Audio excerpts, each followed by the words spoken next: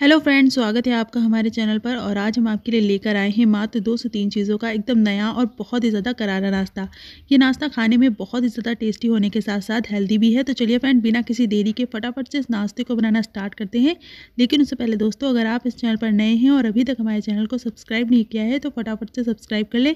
साथ में जो घंटी आती है, उसे भी ज़रूर प्रेस कर दें ताकि हमारे चैनल पर जब भी नई वीडियो आए, उसकी नोटिफिकेशन यानी कि मैसेज आपको मिल सके और आप फटाफट से वीडियो को वॉच कर सके।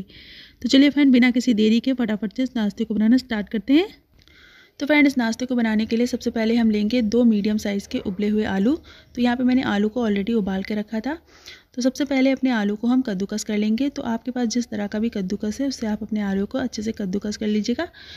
आप चाहें तो आलू को मैश भी कर सकते हैं मैशर की हेल्प से, लेकिन इस तरह से आलू को कद्दूकस करने से इसके अंदर बिल्कुल भी लम्ब नहीं बचते और हमारा जो नाश्ता है वो बहुत ही ज़्यादा अच्छा बनता है। तो देखिए, हमने सारे आलू को अच्छे से कद्दूकस कर लिया है। तो आलू को कद्दूकस करने के बाद अब हम इसमें डालेंगे तीन से चार बारीक कटी हुई हरी मिर्च। हरी मिर्च आप अपने स्पाइस के अकॉर्डिंग डालिएगा। इसके बाद हम इसमें डालेंगे दो बारीक कटी हुई प्याज। तो प्याज को आपको बहुत ही महीन चॉप करना है। अगर आप प्याज नहीं खाते हैं तो आप प्याज को स्किप भी कर सकते हैं। तो फ्रेंड अब हम इसके बाद डालेंगे खूब सारा हरी धनिया। हरी धनिया का जो टेस्ट होता है, वो नाश्ते में बहुत ही ज़्यादा अच्छा आता है। तो इसे आप थोड़ा सा ज़्यादा क्वांटिटी में डाल सकते हैं। तो धनिया डालने के बाद अब हम इसमें थोड़े से स्पाइस ऐड करेंगे। तो स्पाइस में सबसे पहले हम इसमें डालेंगे एक चौथाई चम्मच जितनी चिली फ्लेक्स अगर आपकी हरी मिर्च बहुत ज़्यादा तीखी है तो आप इसे स्किप कर सकते हैं। इसके बाद हम इसमें डालेंगे एक चौथाई चम्मच जितनी काली मिर्च का पाउडर एक छोटा चम्मच जितना हम इसमें डालेंगे कश्मीरी लाल मिर्च तो ये बिल्कुल भी तीखी नहीं होती है।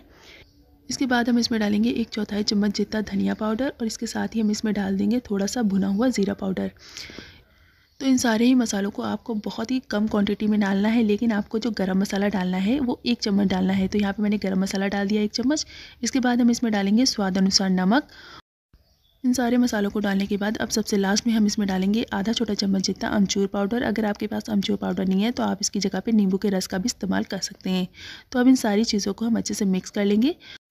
तो आलू में मसालों को आपको हाथ से ही अच्छे से मिक्स करना है। इससे हमारे आलू में अंदर तक मसाला जाएगा। तो देखिए, इस तरह से आलू को हमने अच्छे से मसल कर अच्छे सा डो बना लिया है। इसमें आपको किसी तरह के ब्रेड क्रम या फिर चावल का आटा डालने की बिल्कुल भी ज़रूरत नहीं है। इसी तरह का ये डो रहेगा।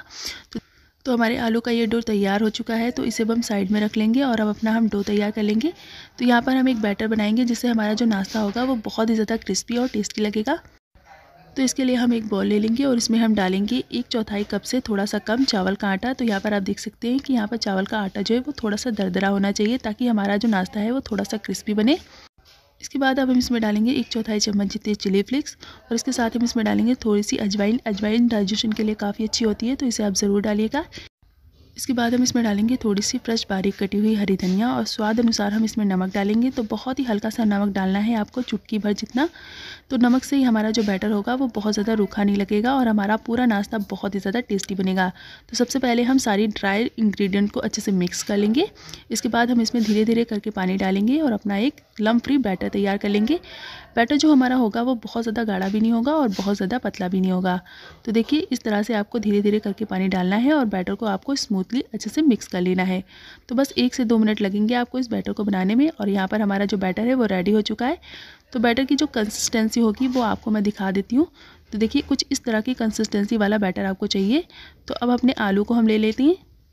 तो देखिए, आलू का डो हमारा काफ़ी अच्छे से सेट हो चुका है। तो अब अपने आलू के डो के थोड़े से अमाउंट को हम हाथों में लेंगे। आप चाहें तो हाथों को थोड़े से ऑयल से ग्रीस भी कर सकते हैं ताकि आलू हमारे हाथों पे बिल्कुल भी चिपके नहीं और इसकी हम, इस तरह से हम पतली पतली टिक्कियाँ बनाएँगे। तो टिक्कियों को आपको बहुत ज़्यादा पतला बनाना है, बिल्कुल भी मोटा नहीं बनाना है। तो देखिए, इस तरह से आपको सारी टिक्कियों को बनाकर रेडी कर लेना है। तो फ्रेंड मात्र दो आलूओं में हमारा जो नाश्ता है, वो दो से तीन लोगों के लिए इनफ हो जाता है। बहुत ही ज़्यादा टेस्टी और बहुत ही ज़्यादा क्रंची बनता है। तो इस तरह से आप इसे फ्रिज में भी स्टोर करके रख सकते हैं।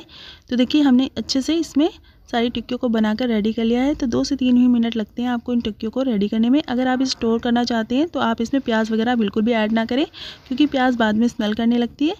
तो देखिए, इस तरह से हमने अपनी सारी टिक्कियों को बनाकर रेडी कर लिया है। तो अब फटाफट से चलते हैं, इन्हें हम सेक लेते हैं। तो फ्रेंड्स अब हम एक पैन में थोड़ा सा तेल डालेंगे। तो तेल आपको बहुत ही ज़्यादा कम डालना है, क्योंकि इस नाश्ते को हम डीप फ्राई नहीं करेंगे सेलो फ्राई करेंगे और बहुत ही हल्के तेल में बनाएँगे ताकि हमारा जो नाश्ता है वो बहुत ही ज़्यादा हेल्दी रहे। तो एक चम्मच तेल की इस तरह से हम हल्की सी बूंदे इसमें डालेंगे और इसे हम चारों तरफ़ अच्छे से फैला लेंगे। तो मात्र दो से तीन चम्मच में हमारा जो नाश्ता है वो बनकर रेडी हो जाएगा। तो सबसे पहले हम तेल को अच्छे से गर्म होने देंगे। जैसे ही हमारा तेल गर्म हो जाएगा उसके बाद हम अपनी तैयार की हुई टिक्कों को पहले बैटर में डिप करेंगे, उसके बाद हम एक एक करके इसे पैन में डालेंगे। गैस की फ्लेम आपको लो टू मीडियम रखनी है। लो टू मीडियम फ्लेम पर ही इस नाश्ते को हम कुक करेंगे। तकरीबन एक से दो मिनट ही लगेगा हमारे इस नाश्ते को बनने में। तो इस तरह से आप एक बार इस नाश्ते को ज़रूर ट्राई कीजिएगा। ये बहुत ही ज़्यादा हेल्दी होता है और बहुत ही कम तेल में बन जाता है और खाने में तो इतना ज़बरदस्त होता है कि आप इसे किसी भी टाइम बनाकर खा सकते हो। जब भी आपको छोटी मोटी भूख लगे या फिर कुछ चटपटा खाने का मन हो, लेकिन हेल्दी भी हो उसके साथ तो आप इस नाश्ते को ज़रूर ट्राई करें। तो देखिए, इस तरह से हमने इसे लो टू मीडियम फ्लेम पर अच्छे से कुक करना है। जब ये एक साइड से अच्छे से कुक हो जाएगा, तब इसे हम पलट देंगे और पलट करके हम इसे दूसरी साइड भी दो मिनट के लिए अच्छे से कुक करेंगे। तो इस नाश्ते को आप जितना क्रिस्पी बनाना चाहें, उतना क्रिस्पी बन जाता है। और सबसे अच्छी बात है कि ये बहुत ही ज़्यादा हेल्दी है, बहुत ही कम तेल में बन जाता है। तो तकरीबन दो से तीन मिनट हो चुके हैं और आप देख सकते हैं कि हमारा जो नाश्ता है वो दोनों साइड से अच्छे से क्रिस्पी हो चुका है। तो इस तरह से आप इसे प्रेस करके अच्छे से क्रिस्पी होने तक पका लीजिए। तो इसे आप किसी भी चटनी के साथ इंजॉय कर सकते हैं, खट्टी, मीठी, तीखी, जैसे भी आपको चटनी पसंद है, उसके साथ आप इसे ले सकते हैं। बहुत ही जल्दी और क्विक बनने वाली रेसिपी है और खाने में तो बहुत ही ज़्यादा लाजवाब है। आप इसे रोटी पराठे के साथ भी ले सकते हैं। खाने में ये बहुत ज़्यादा ज़बरदस्त लगती है तो ज़रूर से ट्राई कीजिएगा और हमें कमेंट में बताइएगा कि आपको हमारी आज की रेसिपी कैसी लगी। वीडियो पसंद आई हो तो वीडियो को लाइक कीजिएगा, ज़्यादा से ज़्यादा दोस्तों में से शेयर कीजिएगा और अगर चैनल पर नए हैं तो चैनल को सब्सक्राइब करके बेल आइकन को भी ज़रूर प्रेस कीजिएगा। मिलते हैं नेक्स्ट वीडियो में ऐसी ही नई मज़ेदार रेसिपीज़ के साथ। तब तक के लिए अपना ख्याल रखिए। Bye and take care and thank you for watching